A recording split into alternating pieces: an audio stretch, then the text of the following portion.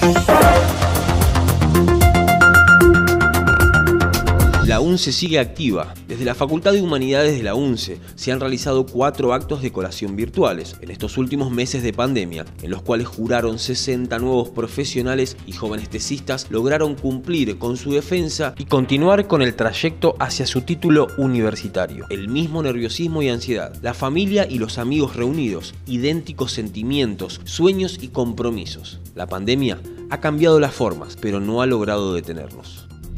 Para nosotros es un grato placer en estos tiempos de pandemia, en estos tiempos de distanciamiento físico, poder encontrarnos en este espacio virtual para poder celebrar un momento tan importante en la vida de cada uno de nuestros graduados y en la vida institucional también. Un momento muy importante para nuestra facultad, para nuestra universidad, porque damos cuenta de todo el trayecto que hemos venido recorriendo a la par de cada uno de ustedes para que puedan lograr su ansiado título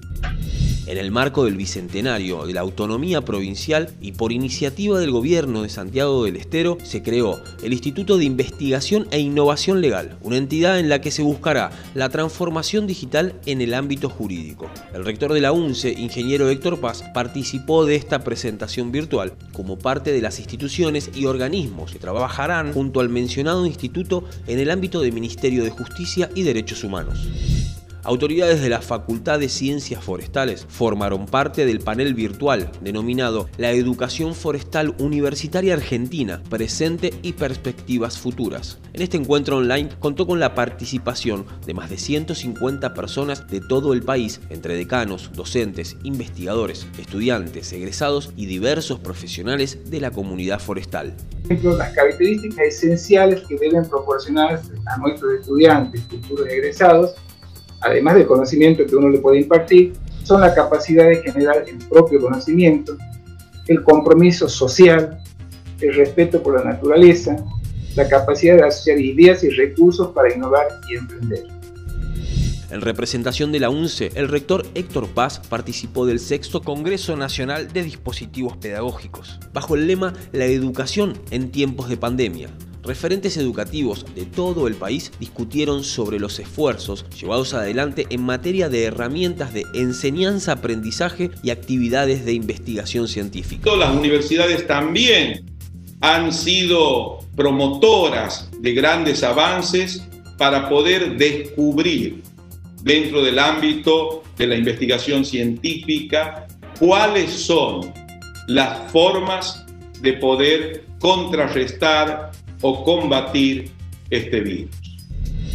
Con el objetivo de celebrar el Día del Educador Sanitario, miembros de la Facultad de Humanidades, Ciencias Sociales y de la Salud llevaron adelante una jornada virtual titulada La Educación para la Salud y sus desafíos en los escenarios actuales. En dicha actividad se destacó el rol de los educadores sanitarios en el contexto actual y se propició un espacio para el diálogo entre estudiantes, egresados, docentes, autoridades y especialistas en la materia.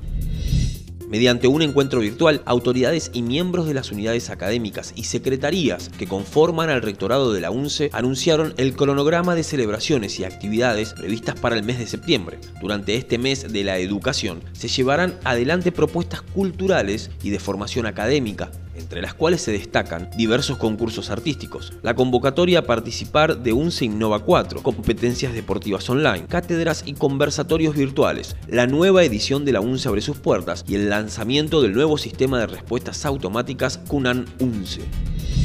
Desde la Secretaría de Vinculación y Transferencia Tecnológica de la UNCE convocan a la presentación de emprendimientos que contribuyan a la reactivación de la actividad productiva mediante el desarrollo y o adopción de soluciones tecnológicas. Los proyectos podrán acceder a un financiamiento de aporte no reintegrable.